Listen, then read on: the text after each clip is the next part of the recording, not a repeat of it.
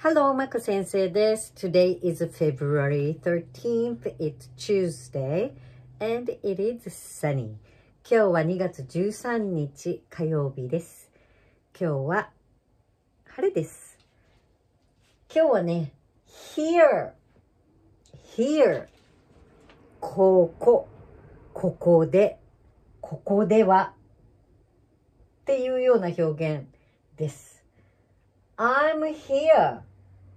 I'm here. 私はここにいるよ。I'm here. 私はここにいるよ。ただいまとかっていう時とかね。I'm here っていう表現。あの、英語とかではね、あの、ただいまっていう表現はあまりありません。日本、日本語みたいに必ず帰ってきたら、ただいまっていうようなあの、言語ありません。I'm here.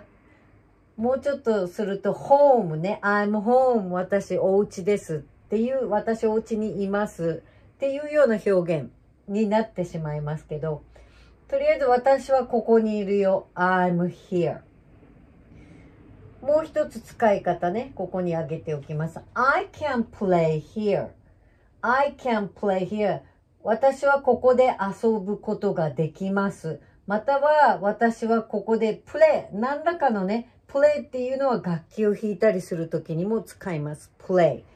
ここで遊んだり、ここでプレイ、ね、あの、サッカーとかのゲームの意味もありますし、I can play here. ここで何々できます。ここで。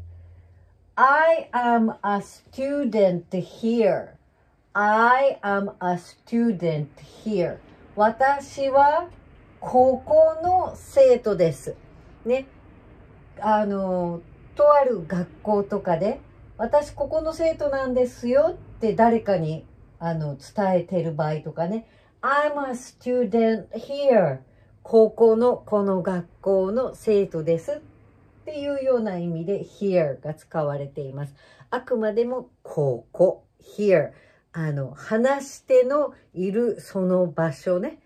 もうそれ、これはほとんど日本語と同じだと思うんですけど、ここ、here. Okay, I see you tomorrow. I love you. 愛してます。